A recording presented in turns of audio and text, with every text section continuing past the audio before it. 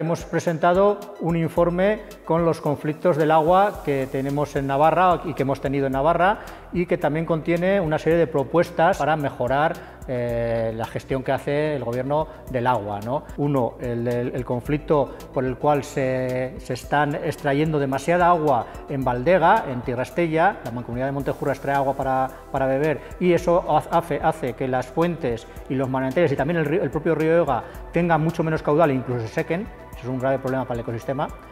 Tenemos también el grave problema, como ya sabéis, del canal de Navarra y el pantano de Itoiz. El canal de Navarra se está extendiendo primero con la ampliación de la primera, fase y, ahora quieren hacer la segunda fase por toda Navarra con el gran des desembolso económico que ello supone y también con graves efectos medioambientales negativos.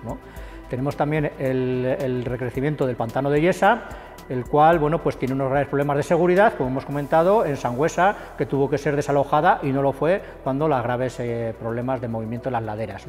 Eh, además, a ese pantano de Yesa, una vez recrecido, le tiene que llegar agua y no hay agua suficiente en el río Aragón, por lo tanto, van a hacer o quieren hacer un trasvase del río Salazar al, río, al pantano de Yesa a través, por debajo de la sierra de Leire. Y además, en esa misma zona, está todo bastante concentrado en la zona de Sangüesa, también quieren hacer una mina de potasas que está como muy, como, muy, cerca, a un kilómetro y por debajo de la lámina de agua del pantano de Yesa, lo cual, pues si hubiera filtraciones hacia la mina, pues sería un gran problema medioambiental, de salinización y también un problema de seguridad importante.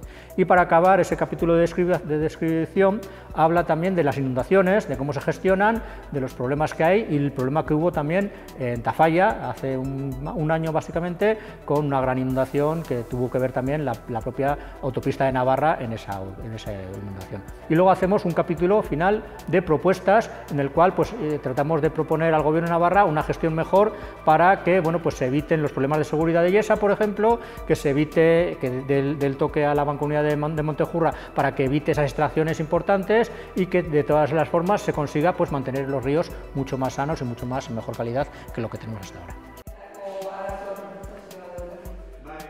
Lo más importante que vemos es difundir esta, este problema, ¿no? que la gente veamos el problema que es y que también eso se transmita y llegue de alguna manera a los gobiernos para que de esa manera pongan esas, esas medidas adecuadas para eh, solventar los problemas. ¿no? Que los grupos locales que son grupos que se han unido de alguna manera a Urbisi, que es una especie de coalición de grupos que tratan de hacer una mejor gestión del agua, ¿no? pues grupos como eh, Yesa Más No, eh, como Río Aragón, o en otros casos también como Salvemos el EGA o los de, Salazar. Hay varios grupos locales que están de, defendiendo sus entornos naturales. ¿no? Esos grupos posiblemente piensen realizar algo. Habrá que buscar el momento y las, la, la, las circunstancias adecuadas, pero evidentemente si esto sigue así, algo habrá que hacer, seguro.